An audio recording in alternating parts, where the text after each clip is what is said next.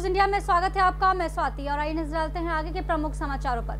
बिहार औरंगाबाद के गो प्रखंड के दत्तपी पंचायत के गोपालपुर गाँव में दत्तपी पंचायत के मुखिया प्रतिनिधि लड्डू सिंह ने वृक्षारोपण का कार्य किया। वृक्षारोपने वाला, वृक्ष रोपने वाला काशी पासवान पप्पू सिंह, भूषण सिंह ने बताया कि वृक्ष पोखरा के पिंड पर करीब 800 रोपा जाएगा।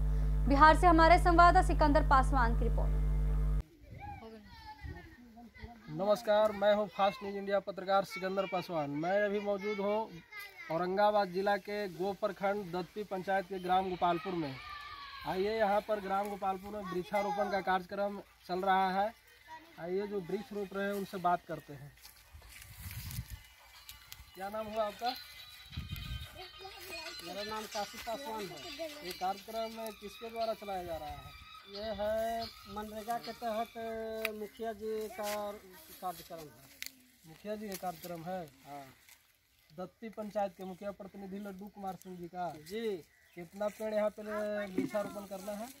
लगभग आठ सौ पेड़ लगाना है यहाँ पर। गबड़ा खाना गया है सब और हम लोग लगा रहे हैं। अभी कितना पेड़ अभी लगा चुके होंगे? अभी लगता है कि चार सौ भर लगाए हैं अभी चार सौ लगाना है। चार सौ पेड़ लग गया। हाँ अभी लग ही रहा है मैंने लगभग लगिए क्या नाम हुआ आपका? हमारा भूषण सिंह नाम हुआ। कौन सा पेड़ रोप रहे हैं? सागवान है। सागवान है। कितना पेड़ अभी तक लगाए हैं? अभी तक तो हम साठ पेड़ लगा चुके हैं। साठ पेड़ लगा चुके हैं। हाँ, हम लोग एक कार्यक्रम सिर्फ़ सिर्फ़ ग्राम- ग्राम गोपालपुर में ही चलेगा कि पूरा पंचायत के गाँव में सभी गाँव में रोपाएगा। ये तो हमें अभी तो पूरा मालूम नहीं है लेकिन पूरा पंचायत में अभियान चलना है और मनरेगा के तहत ये काम लड्डू पर मुखिया प्रतिनिधि लड्डू जी ने कार्यक्रम ये वृक्षारोपण करवा रहे हैं। तो सागवान का पेड़ ही केवल लग रहा है कि और कोई पेड़ है? ये शीशम और सागवान दोनों लग रहा है। शीशम और सागवान। हाँ। आइए देखते हैं यहाँ पे कौन कौन का वृक्ष यहाँ पे रोपा गया है। ये शीशम का पेड़ है और ये सागवान का आपका क्या नाम है? मेरा नाम पप्पू कुमार है। पप्पू जी। आप कितना वृक्ष अभी तक रोप दिए हैं? अभी तक तो मैं पीछे से काम करता जा रहा हूँ। पटवन का। उसमें करीब करीब दो ढाई सौ। पोखरा के गोले गोले पिंड पर वृक्ष रोप लगेगा? दो रकम का ही पेड़ लग रहा है। शीशम शीशम है सगवान है। चलिए ठीक है अभी आप लोग देखें ग्राम गोपालपुर में वृक्षारोपण का कार्यक्रम चल रहा है। जो कि अभी तक 400 पेड़ इन लोग लगा चुके हैं और 800 पेड़ यहाँ पे लगेगा। पोखरा के चारों पिंड पर 800 पेड़ लगाया जाना है, जिसमें शीशम का पेड़ है और सगवान का पेड़। हरियाणा के अम्बाला कैंट में स्थित स्वास्थ्य मंत्री अनिल विज के निवास स्थान पर पीडब्ल्यू के वर्करों को मिलने से रोका गया। वो अपनी मांगों को लेकर मंत्री से मिलने के लिए गए थे, लेकिन उनको मिलने से रोका गया। फिर उसके बाद सरकार के खिलाफ नारेबाजी भी की गई। हरियाणा से हमारे संवाददाता विनोद कुमार की रिपोर्ट। कर्मचारी बढ़ चढ़ करके भाग लेगा और हरियाणा सरकार की नींव मिला देगा।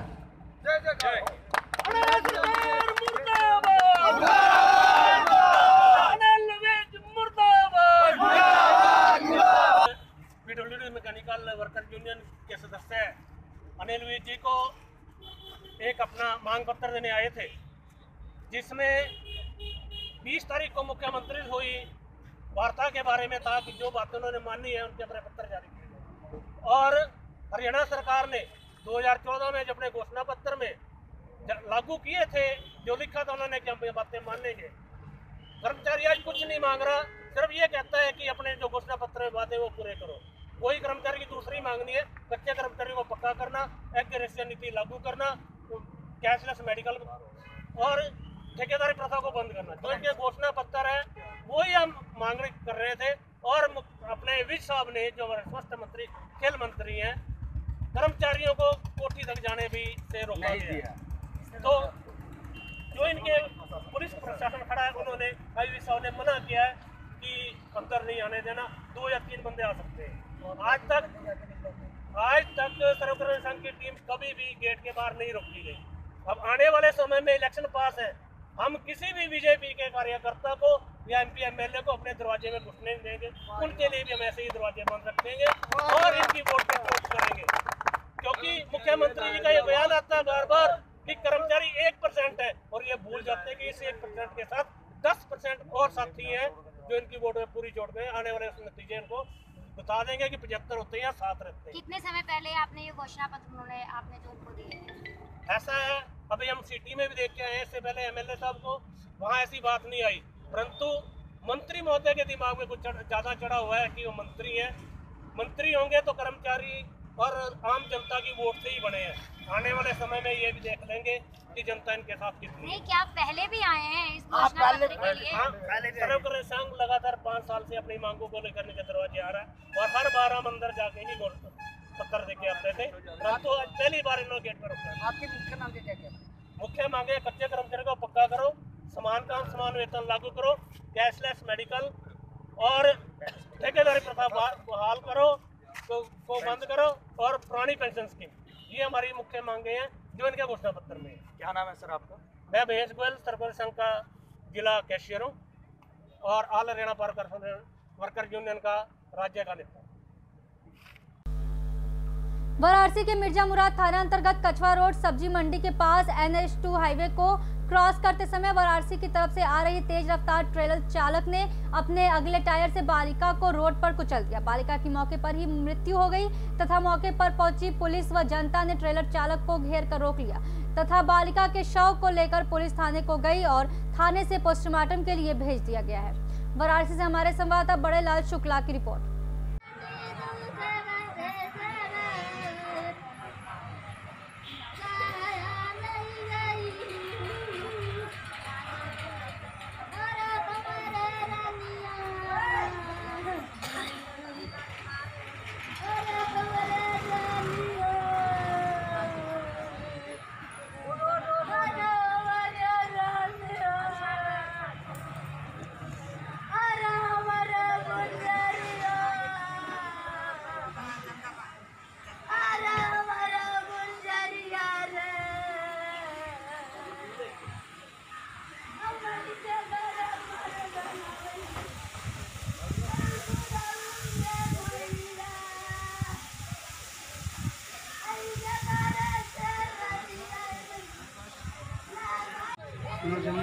हाँ?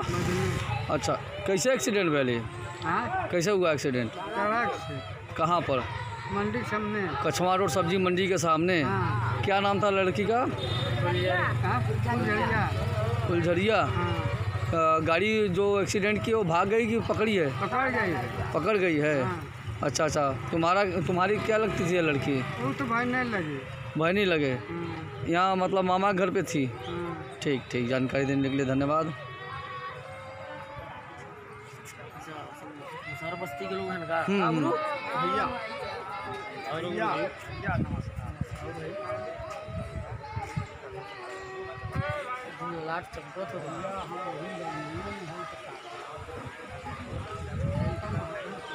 मम्मी पापा हैं कि नहीं माता पिता। ये थे अभी के समाचार जानेंगे आगे के समाचार छोटे से ब्रेक के बाद।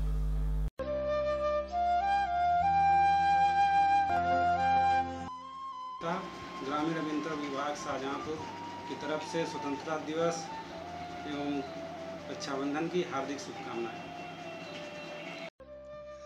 ब्लॉक प्रमुख विकास खंड सिंधौली, शाहजहांपुर से सुनीता यादव, पति फिरोज सिंह, उर्फ़ कल्लू, व प्रधान ग्राम मोर्चा अरुण दीक्षित, व पूर्व प्रधान राकेश यादव ग्राम सैजना की तरफ़ से। स्वतंत्रता दिवस रक्षा बंधन की हार्दिक शुभकामनाएँ।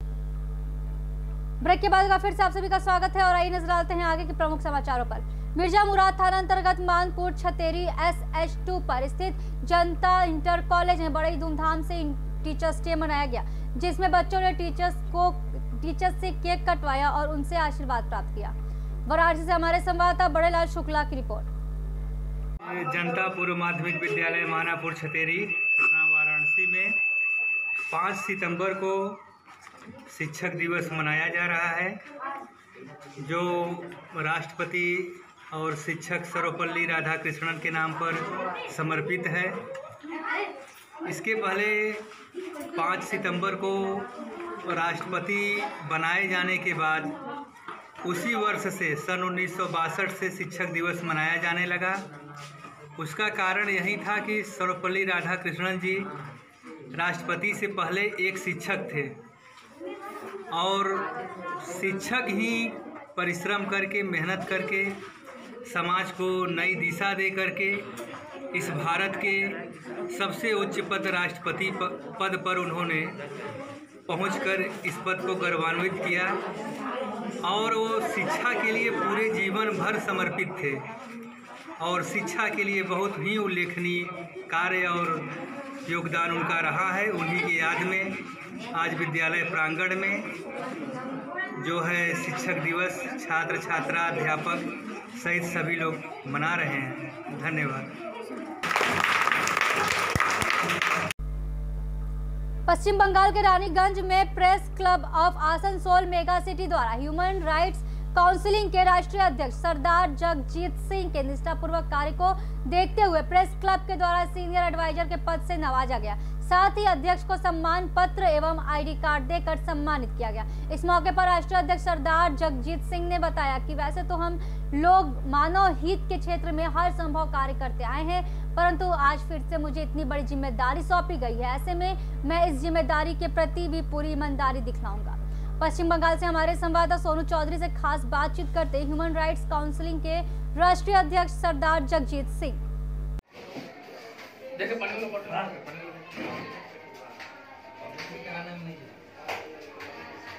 न्यूज़ आप ही लोग करते हैं जिसमें देखते हैं बहुत व्यक्तियों को रिलीफ मिलता है। ये तभी मिल पाना मुमकिन होता है जब स्टेट गवर्नमेंट या फिर उनका एडमिनिस्ट्रेशन एक्टिवली हेल्प करे। वो अभी तक करता है। पश्चिम बंगाल सरकार उनका एडमिनिस्ट्रेशन अभी तक हेल्प करता है। तो आपकी संस्था क्या राज्य सरकार को धन्यवाद। एकदम सौ प्रतिशत ऑनरेबल चीफ मिनिस्टर को हम धन्यवाद ज़रूर कहेंगे। उनका टोटल स्टेट एडमिनिस्ट्रेशन को करेंगे।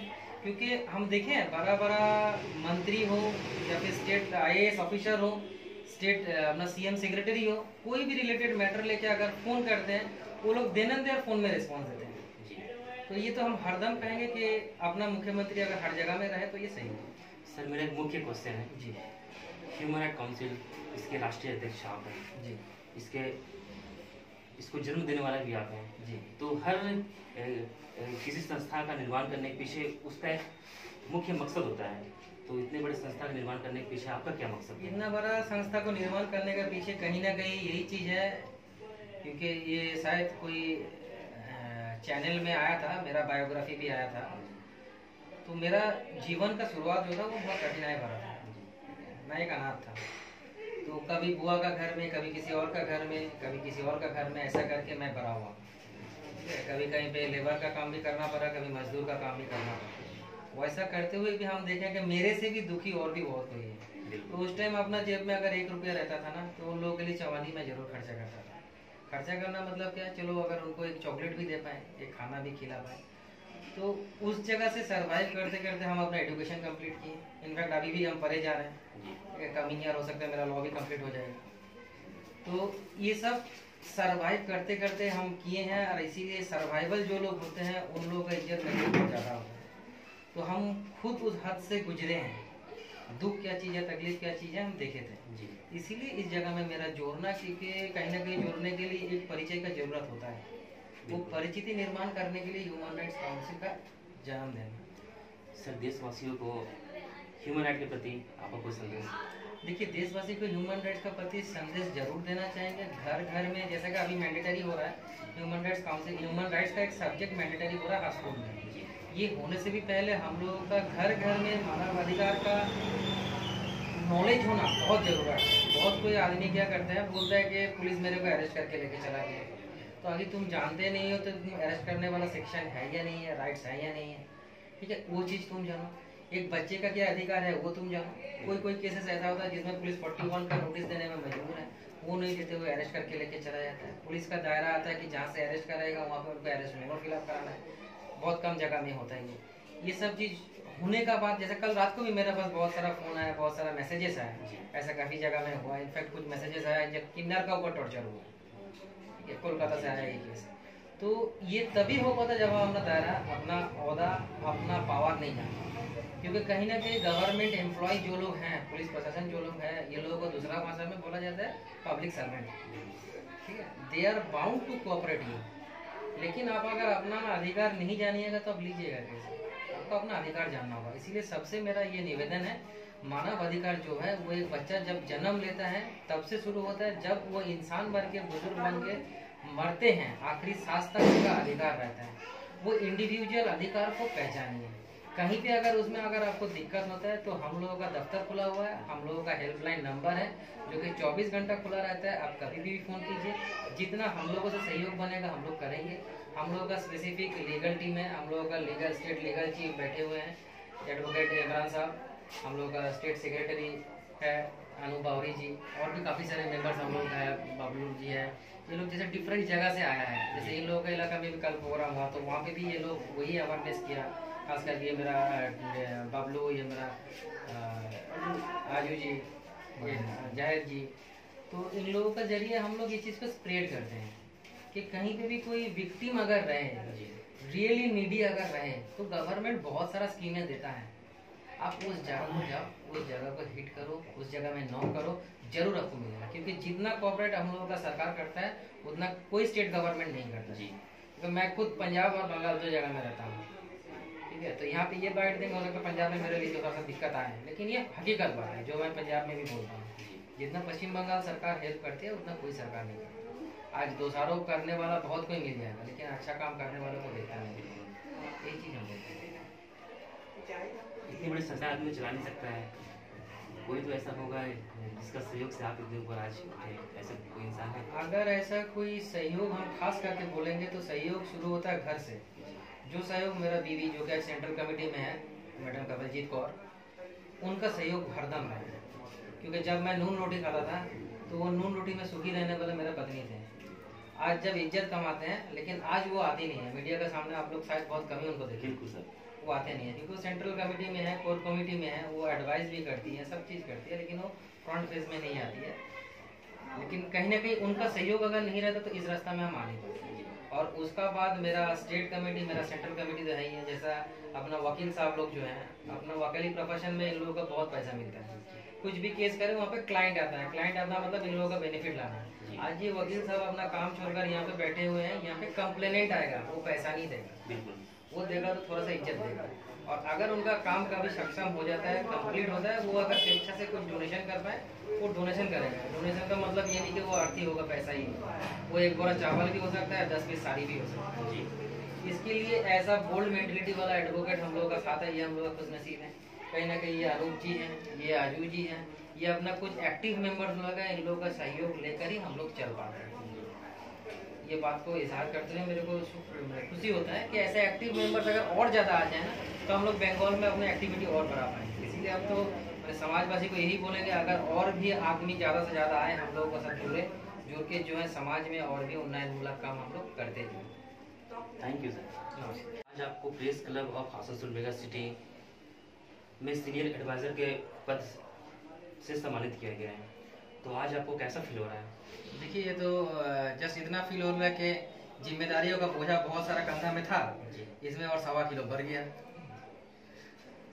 तो हालाँकि एक ह्यूमन राइट और प्रेस दो अलग अलग चीज़ें लेकिन आप अब दोनों का बोझ लेकर अपने कंधों पर चले हैं तो आपकी ज़िम्मेदारी ऑब्वियसली बढ़ गई है तो किस तरह से आप अपना कर्तव्य निभाएँगे? देखिए जिम्मेदारियाँ ज़रूर बढ़ा है लेकिन साथ ही साथ ये बहुत अच्छा भी लगता है कि अगर अगला press club of Asansol mega city ये अगर सोचे हैं कि सीनियर एडवाइजर का तौर पे मेरे को नियोग किया जाए तो ये कहीं ना कहीं पे अपना काबिलियत भी बढ़ा है उसका भी एक परिचय है ये। जी। तो ये हो पाया कहीं ना कहीं समाज में आप लोग प्रेम करते हो या फिर समाजवासी लोग प्रेम करता है इज़्ज़त करते हैं इसीलिए। ये तो बहुत खुश नसीब है कि ये जगह मेरे को मिला है। एवं आने वाले दिन में देखिए ह्यूमन राइट्स और इसको चलाना कोई बड़ी बात नहीं है। ह्यूमन राइट्स उस उस जगह में पहुँचता है जहाँ पे काफ़ी सारे टाइम में हम भी देखे हैं कि प्रेस वाले को भी पहुँचने में दिक्कत हो जाती है। वो लोग पहुँच नहीं पाते हैं। तो ये एक वेपन्स है जो साथ में रह पाएगा। जो। सारे ये ऐसा बहुत सारे केसेस होते हैं जो हम लोग सॉल्व करते हैं लेकिन जो मीडिया का ज़रिए जो है फ्लैश नहीं हो पाता। क्योंकि हर जगह हम लोग का वर्किंग एरिया जैसा ऑल ओवर इंडिया है तो बेसिकली होम टाउन अपना वेस्ट बंगाल में होने का चलते बंगाल में हम लोग ज़्यादा काम करते हैं। लेकिन बंगाल में भी ऐसा बहुत सारा जगह है, जहाँ पे हम जाते हैं, लेकिन वहाँ का लोकल मीडिया का पता नहीं है। हम लोग कोई एक्टिविटी करते हैं या फिर कोई इंसिडेंट होता है, किसी को जैसे कोई वायलेटेड वुमेन्स को उनका घर घुसाते हैं या फिर कोई वायलेटेड चाइल्ड को उनका राइट्स दिलाते हैं, लेकिन वो मीडिया के ज़रिए जो है सोशली आता नहीं है। उस जगह से एक रिलीफ मिलेगा। अगर अपना प्रेस का एक परिचिति रहता है तो उसको किसी न किसी तरह कवर करा पाएँगे। उसमें किसी न किसी तरह सोशल मीडिया में उसको फ्लैश करा पाएँगे। जिसका ज़रिए क्या अपना पब्लिसिटी नहीं उसका ज़रिए यही है कि समाज में जितना भी पीड़ित है उन लोगों को एक आश्वासन मिले। थाना पुलिस प्रशासन छोड़ के भी मानवाधिकार संगठने हैं। जो लोग अगर चाहें तो उनको न्याय दिलाने में संपूर्ण मदद कर सकते हैं। Sir human right council Paschim Bengal के अलावा इसकी संस्था और कहाँ कहाँ पर है? इसका संस्था जैसे बिहार में है झारखंड में है हरियाणा में है पंजाब में है राजस्थान में हम लोगों का बातचीत चल रहा है वहाँ पे भी बहुत जल्द होगा। ठीक है लेकिन रहते हुए भी उधर उतना सक्रिय नहीं है जितना बंगाल में। है जी क्योंकि ये बात बोलने में बहुत खुशी होती है। हर कोई जगह का स्टेट गवर्नमेंट से अपना पश्चिम बंगाल का स्टेट गवर्नमेंट जो है बहुत करता है। बहुत ज़्यादा ये सब चीज़ में एक्टिव है बहुत ज़्यादा हेल्प भी करती है। इसीलिए बंगाल में जितना हम लोग एक्टिविटी कर पाते हैं एक्टिविटी कर पाना मतलब क्या है? कोई इलीगल चीज़ का खिलाफ लड़ना ह्यूमन राइट्स का मतलब यही है। कोई विक्टिम को जस्टिस दिलाना। तो जस्टिस हम तभी दिला पाएँगे जब गवर्नमेंट मेरे को हेल्प करे। जी बिल्कुल। तो इस हिसाब से जैसे कि आप लोगों का मीडिया ये सभी के समाचार आए। कुछ खास खबरों के लिए बन रही फास्ट न्यूज़ इंडिया के साथ। धन्यवाद।